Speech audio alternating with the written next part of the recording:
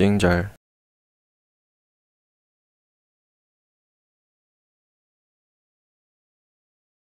오늘은 또 무슨 일로 왔죠? 대화를 나누고 있는 두 여자 혜진이 컴퓨터를 좀 보고 싶어서요. 보세요. 컴퓨터를 포함해서 이 방에 있는 건 혜진이가 살아있을 때랑 똑같아요. 2심 재판 때 정철진 그자가 무기로 감형을 받을 수도 있대요. 변호사가 워낙 유능한 사람이라서 불가능한 일도 아니래요. 우리 애를 끔찍하게 죽인 그자와 같은 하늘 아래에서 살아가게 되면 어쩌죠? 당신이 작가가 아니고 변호사란 얘기 들었어요. 정철진 그자에게 유리한 증거라도 찾았나요? 과연 이들에겐 무슨 일이 있었던 걸까요?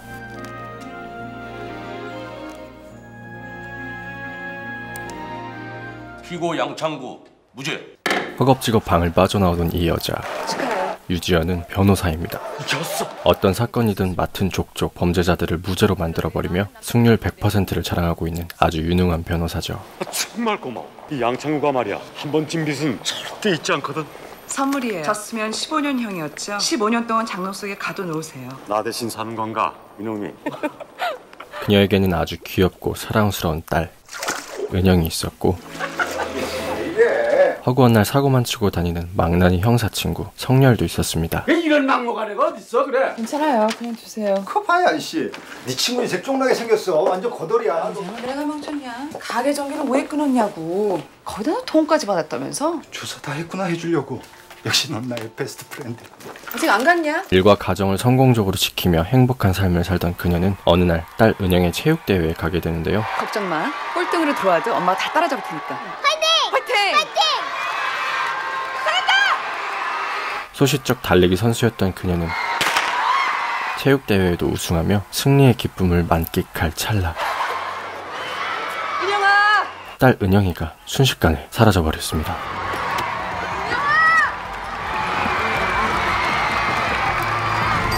한순간에 유괴범에게 딸을 납치당한 그녀. 경찰에 신고하지 말라고 했지 않습니까? 딸이 죽길 바랍니까?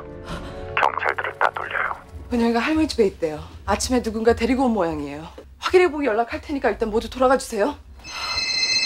유괴범이 원하는 것은 돈이 아니었습니다. 저는 이미 다 준비됐어요. 돈은 됐습니다. 내가 왜 변호사 딸을 유괴했을까요? 그가 원하는 것은 바로 진짜 억울한 사람이 하나 있어요. 그 사람은 절대 사형 선고를 받아서는 안 돼요. 억울한 누명을 썼거든요. 누명을 쓰고 사형 선고를 받은 한 사형수의 무죄 판결을 받아내는 것.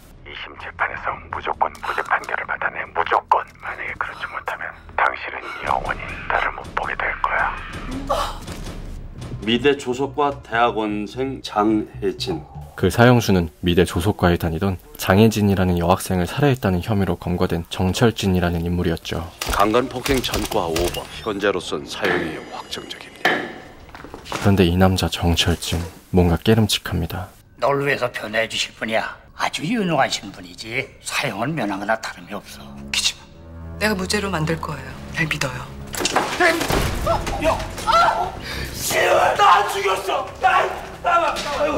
야너 혹시 그 정철진 그 사건 그거 맡은 거 아니지? 내일은 내가 알아서 해. 안돼 지원아 절대 안 돼 친구 성렬도 그녀를 말리지만 그녀는 멈출 수 없었습니다. 좋아요. 그를 무죄로 만들기 위해 그녀는 최선을 다해야만 하죠. 어머니 약값이 필요했어. 나쁜 짓인 줄 알지만 그래서 장혜진 빌라로 들어갔던 거예요. 물건 몇 개만 훔치려고. 장혜진 이미 죽어 있었고 당신은 놀라서 뛰쳐나왔어요. 그렇게 변호를 준비하던 도중 유괴범에게 한 통의 전화가 걸려옵니다. 헤런 아직도 안 나왔나? 살해 도구가 나와야 확실한 증거가 되지. 은영이 아프다고 하는데요. 안 돼. 알러지가 있어요. 빨리 병원으로 옮겨야 돼요. 하지만 아이를 유괴한 상황에 유괴범이 착한 유괴범이라 병원에 데려갈 수 있는 것도 아니었고 유기한 애를 데리고 어떻게 병원을 가나? 결론은 최대한 빨리 정철진을 무죄로 만들어야 아이를 무사히 만날 수 있다는 압박인 것일 뿐이었죠. 알잖아 그 정철진 사건 피해자 엄마 만나러 왔다 결국 지연은 피해자 장혜진의 엄마 한수키 교수를 찾아가기로 아, 합니다. 안녕하세요 어머니 저 기억하시죠? 저분이 세 번째 피해자 언니 되시는 분이거든요 하지만 자신이 살인범을 무죄로 만들 변호사라는 것을 수키에게 알릴 수 없었고 또 다른 피해자의 언니라고 수키를 속이게 되죠. 유지연입니다. 글을 쓰시는 분인데 그 피해자 가족들의 고통 이런 걸 책으로 쓰고 싶다고 하셔가지고 친구 관계는 어땠나요? 남자 문제가 항상 피해자에 대한 질문을 하는 지연. 그런데 정철진의 변호사가 바뀌었다는 얘기를 들었어. 정철진의 변호사가 유능한 변호사로 바뀌었다는 소식을 이미 들은 수키는 혹시 무죄나 이런 걸로 판결 정철진이 풀려날까 걱정을 하고 그자는 절대로 풀려나서는 안 돼요. 죄값을 받아. 지연은 아무 말도 할 수 없었죠. 계속해서 사건의 정황을 파헤치기 위해 발품 파는 지연과 성렬. 피쪽 봐라. 처음엔 소파였어. 여기서 폭행하고 찌른 거야. 처음 장소가 소파일까? 나 아까부터 계속 그런 식으로 얘기하는데 대한민국 어떤 형사가 이 현장에 왔어도 100% 정철진 지목할 걸. 누구도 100%는 장담 못해. 넌 무슨 근거로 그렇게 확신하는 거야? 차를 같이 타고 와서 범행을 하고 깨끗이 자신의 흔적을 지운 누군가가 있었어. 우린 그 자를 찾아야 돼. 검찰보다 먼저 장혜진을 살해한 흉기를 찾아야 돼. 아니 그러니까 정철진이 범인이면 안 되는 이유가 대체 뭔데? 어? 그러다가 어. 죽은 혜진의 주변에 한 약쟁이 무리들이 연관되어 있다는 사실을 알게 되는데요. 빨리 좀 와줘. 거기 용의자가 있어. 씨발, 니네 뭐야? 니들 잡으러 왔어 이 새끼들아 뽕쟁이들.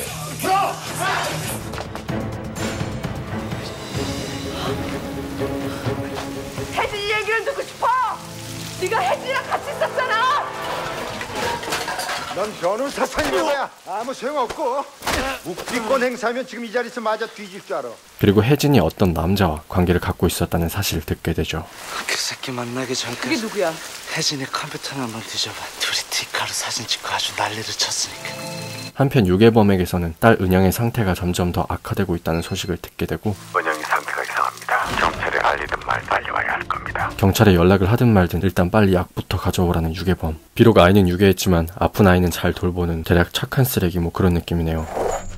개셔틀을 이용해 유괴범은 약을 챙기고 병원에 가야 될 것 같습니다. 그러기 위해선 정철진이 반드시 무죄로 풀려나야겠죠. 눈앞에서 은영을 놓치게 됩니다. 그리고 몰래 차에 숨어있던 성렬. 트렁크 타는 것도 지겹다 이제. 뭐야 너? 누가 이런 짓 하랬어? 네 얼굴이, 네 눈이, 어설픈 네 행동이. 성렬 또한 은영이 유괴됐다는 사실을 알게 되죠. 은영이 유기한 놈 요구 조건이 정철진 그 자식 무죄 석방시키는 거야? 그들은 은영을 반드시 찾겠다고 다시 한번 다짐합니다. 은영이 나한테도 소중해. 뭐야 빨리 가. 내일 재판이야. 오늘은 또 무슨 일로 왔죠? 혜진이 컴퓨터를 좀 보고 싶어서요. 지연은 약쟁이가 알려준 혜진과 관계를 맺고 있었다는 남자의 정체를 파악하기 위해 다시 수키의 집에 찾아가는데요. 지연은 열심히 혜진의 컴퓨터를 뒤져가며 사진들을 발견하는데 철진 그자가 무기로 감형을 받을 수도 있대요. 만약에 그자가 사형을 안 받고 무기징역을 받으면 어떡하죠? 우리 애를 끔찍하게 죽인 자료들을 보내려는 그 순간 그러면 어쩌죠? 당신이 작가가 아니고 변호사라니 수키는 지연이 변호사라는 것도 정철진의 변호를 맡았다는 사실도 모두 알아채고 있었습니다. 처음부터 속일 생각은 없었습니다. 그럼 처음부터 내 딸을 죽인 정철진의 변호사라고 말할 작정이었나? 하지만 그녀에 대한 지연의 미안한 마음은 딸 은영을 살려야 한다는 의지를 이길 수 없었고 강지원 23살. 지금 재활 치료 받고 있어. 혜진의 사진 속에 있던 그 남자를 찾아가게 됩니다. 강지원의 입원 날짜가 7월 26일이 확실한가요? 네, 확실합니다. 혜진이 기억나죠? 이 남자 강지원. 그리고 그를 만난 후 열린 첫 재판. 장혜진의 사체를 부검하셨죠? 네. 특이한 점이 있었습니까? 소량의 약물이 검출됐습니다. 환각제입니다. 따님의 남자 관계가 물러나다고 생각하십니까? 지연은 죽은 혜진의 문란한 남자 관계를 빌미로 변호를 시도합니다. 이에 분노하는 수키. 아니요. 장혜진을 죽인 범인은 어머니 약값 때문에 들어갔던 좀도둑이보다는 장혜진 스스로가 불러들인 많은 남자들 가운데 한 명일 확률이 높습니다. 잠시 휴정하겠습니다. 그년 엄마 되게 침착하다. 역시 친딸이 아닌가? 그렇구나. 돈 가지고 치라! 내가 딸을 가진 어머니의 마음을 어떻게 알아? 난 그냥 모른다니까. 그리고 내가 들어갔을 때 그년 이미 죽어 있었어. 치열한 공방이 계속되지만 죽은 혜진과 모르는 사이라고 거짓말했던 정철진은 다음 증인을 신청합니다. 그의 동거녀가 증인으로 나서면서 들통나게 되고 혹시 정철진이 죽은 장혜진을 알고 있었습니까? 네. 점점 그의 무죄를 입증하기는 더욱더 어려워져만 갑니다. 처음부터 장혜진을 알고 있다고 왜 말을 안 했어? 그게 이렇게 중요해? 중요하고 안 중요하고는 내가 결정. 근데 왜 죽어 있었어? 정말 죽어 있었어? 왜? 내가 죽였다. 죽였다. 내가 죽였으니까 됐냐고. 유지현 씨 맞아요? 네, 사인이요. 그리고 유괴범의 압박은 점점 더 지연을 옥죄어만 가죠.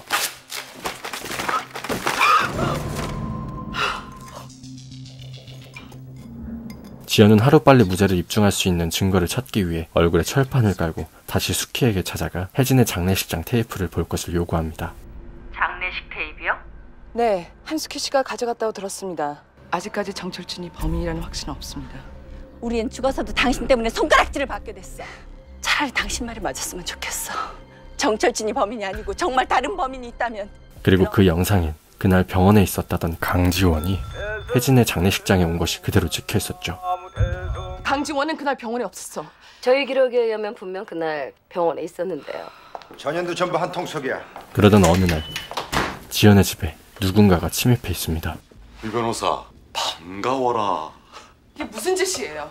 오광록 아저씨는 첫 장면에서 지연이 변호를 맡아 무죄로 풀려난 인물이었죠. 강상만이 심부름을 시켰나요? 그런데 강지원의 아빠 강상만의 심부름을 받고 이렇게 뒤통수를 칩니다. 우리 아들이 이번 사건과는 관련이 없다고 생각하거든. 그래서 병원 기록을 조작하고 아들을 빼돌렸나요? 그리고 사건의 내막을 알게 됩니다. 웬 차를 몰고 왔는데 차 속에 여자의 시체가 하나 있더군. 아들놈은 아무것도 기억을 못해. 도 다행이잖아. 진범이 잡혔으니까. 정철팀보다 강지원이 더 유력한 용의자야. 그래서 오늘 내가 왔잖아.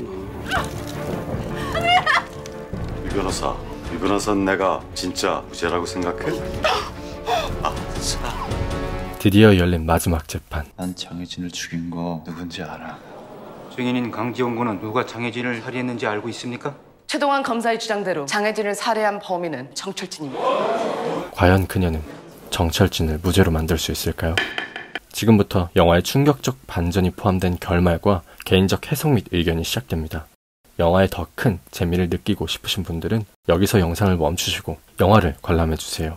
장혜진을 살해한 범인은 정철진이 확실합니다. 지연은 정철진이 무죄를 입증할 수 있는 충분한 증거를 찾지 못했지만 바로 그 점을 역이용합니다. 정황상 정철진이 피해자를 살해했다는 결정적 증거, 흉기가 없다는 것. 맞습니다. 증거. 제겐 그 증거가 없습니다. 검사는 지금 정철진이 장혜진을 살해했다고 볼 수 있는 결정적인 증거물인 흉기, 헤라를 제시할 수 있나요? 검찰 측에서도 살해할 때 사용했던 흉기를 찾지 못한 것이었죠. 검찰이 정철진의 지문이 묻은 칼을 찾지 못한다면 정철진은 무죄를 선고받아야 합니다. 제가 피고 정철진을 무죄로 만들기 위해 제일 먼저 찾아 없애려고 했던 가장 중요한 증거가 바로 그것이기 때문입니다. 그때 나타난 광록이 형. 강상만의 심부름꾼으로 뒤통수 친 줄 알았지만 난 말이야. 자신을 무죄로 만들어준 빚을 갚기 위해 강상만의 녹음 파일을 공개해버리고 깨어나 보니까 거실이. 어쨌건 현장에 있었잖아. 시체가 이 양창구가 말이야. 한 번 진 빚은 절대 잊지 않거든. 결국 정철진은 무죄를 판결받게 됩니다. 하지만 무죄를 판결받자마자 정철진은 헤라는 어딨어? 나도 몰라. 신나게 쑤시는데 없어져 버렸거든. 그제서야 자신이 혜진을 살해했다는 것을 지연에게 고백합니다. 지연은 딸 은영을 되찾고 정철진도 무죄를 판결받아 사회로 나오게 되지만 야, 너무 잘해주는 거 아니야? 정철진을 빼내기 위해 은영을 유괴까지 해가며 노력했던 바로 그 유괴범에게 끌려가고 맙니다. 팩스로 전송되는 의문의 말들 도대체 왜 이래? 그렇습니다. 사실 정철진을 빼내기 위해 은영을 유기하게 만든 것은 바로 죽은 장혜진의 엄마 한숙희였던 것이었습니다. 딸 혜진을 죽인 정철진에겐 교수형조차 사치라고 생각했던 그녀는 인간이 가장 고통스럽게 죽는다는 화형으로 그를 직접 죽일 작정을 세웠던 것이었고 그가 살해할 때 사용했던 흉기를 발견하고 그를 무죄로 만들어 빼내기 위해 이 흉기를 없애버렸던 것이었죠.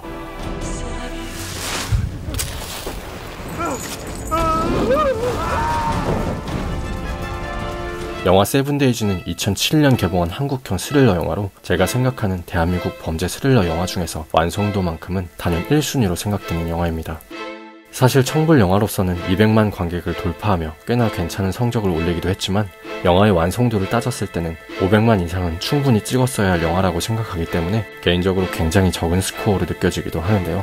세븐데이즈가 개봉한 후 몇 달 뒤 바로 추격자가 개봉하여 엄청난 센세이션을 불러일으키기도 했지만 저는 사실 세븐데이즈가 워낙 충격적이었고 인상이 깊었기 때문에 주변 친구들에게 추격자보다 세븐데이즈가 더 재밌다고 이러면서 다녔더랬죠. 아마 반전 영화 중에서는 한국에서는 단연 최고의 반전이 아닐까 싶으며 식스센스, 유주얼 서스펙트에 버금가는 충격적인 반전으로 영화가 끝이 나서도 한동안 넋이 나갈 정도였으니까요. 김윤진의 흠잡을 데 없는 연기는 더더욱 영화에 몰입하게 만들었는데 사실 이 역할은 원래 김선아 씨가 맡아 초반까지 촬영을 진행했다고 합니다. 어떠한 이유인지 김선아 씨가 하차하게 되어 촬영본을 전부 엎어버리고 김윤진으로 재캐스팅하여 다시 재촬영을 해 제작되었다고 하는데요. 김선아 씨가 맡은 유지연 역할 또한 어땠을까 궁금하긴 한데 아무래도 김윤진 씨가 이 역할을 맡은 것이 신의 한 수가 된 게 아닌가 그런 생각이 들기도 합니다. 딸을 죽인 범인을 직접 죽이기 위해 유능한 변호사의 딸을 납치할 수밖에 없었던 어머니의 마음. 정철진을 끌고 왔을 때 그 어린 것에게 못할 짓을 했어 너 때문에 라고 팩스를 보낸 그 마음과 딸을 구하기 위해 어쩔 수 없이 정철진을 변호하면서도 수키에게 미안한 마음을 가지며 네가 어머니에 대한 마음을 아냐고 울분을 토하던 지연의 장면 그리고 유괴를 한 상황에서도 은영이 아프다고 걱정하며 약을 챙겨오라고 했던 장면은 이 모든 것이 수키가 꾸민 일이라는 것을 알았을 때 비로소 모든 것을 납득할 수 있게 만든 아주 잘 짜여진 복선이라는 것을 알 수 있죠. 아직 영화를 보지 않으신 분들은 반드시 한 번쯤은 꼭 봐보시기를 추천드립니다. 띵짤의 추천 영화 재밌게 보셨나요? 재밌게 보셨다면 구독과 좋아요 부탁드리고 자 띵짤은 다음에 더 좋은 영화 소개로 돌아오도록 하겠습니다. 알람 설정해 주시는 것도 잊으시면 안 돼요. 그럼 이만 띵짤을 그동안 정말 죄송했어요. 아니에요. 내가 더 미안해요. 이제 목요일의 아이가 아니네요. 멀리 떠나갔던 애가 돌아왔으니까. 엄마 여기